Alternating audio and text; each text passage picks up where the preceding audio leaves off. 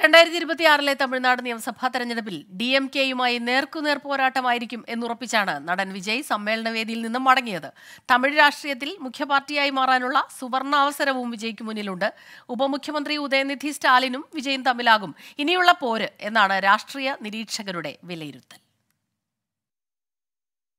மக்கள் விரோத ஆட்சியை திராவிட மாடல் ஆட்சின்னு சொல்லி மக்களை ஏமாத்துறீங்க திராவிட மாடல்னு சொல்லிக்கிட்டு தந்தை பெரியார் பேரறிஞர் அண்ணா பேரை வச்சு தமிழ்நாட்டை சுரண்டி கொள்ளையடிக்கிற ஒரு குடும்ப சுயநல கூட்டம் தான்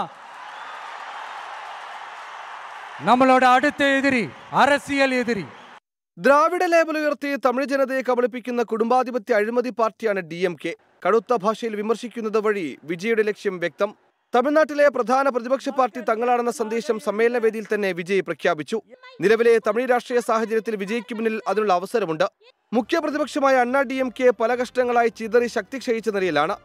ബി ജെ പിയോടാകട്ടെ തമിഴ് ജനത ഇതുവരെ സമരസപ്പെട്ടിട്ടില്ല. ശേഷിക്കുന്ന പാർട്ടികളൊന്നും വലിയ ശക്തിയാകാനുള്ള സാധ്യതയുമില്ല. അതിനാൽ വിജയുടെ ടി വി കെക്ക് തമിഴകത്ത് ഒരിടമുണ്ട്. പാർട്ടിയിലേക്ക് ആളെ കൂട്ടേണ്ട പണിയും ടി വി കെക്കില്ല. വിജയുടെ ആരാധക കൂട്ടം പാർട്ടി പ്രവർത്തകരായി ഇതിനകം മാറിയെന്നാണ് വിലയിരുത്തൽ.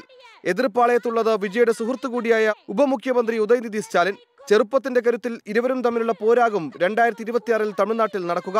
ബി ജെ പി പ്രതീക്ഷ വയ്ക്കുന്ന തങ്ങളുടെ നേതാവ് കെ അണ്ണാമലയും ചെറുപ്പമാണ്. സമ്മേളനത്തിന് മുമ്പ് വിജയ്ക്ക് ആശംസ നേർന്ന ഉദയനിധി വിമർശനങ്ങൾക്ക് എന്ത് മറുപടി നൽകുമെന്നത് ശ്രദ്ധേയമാകും.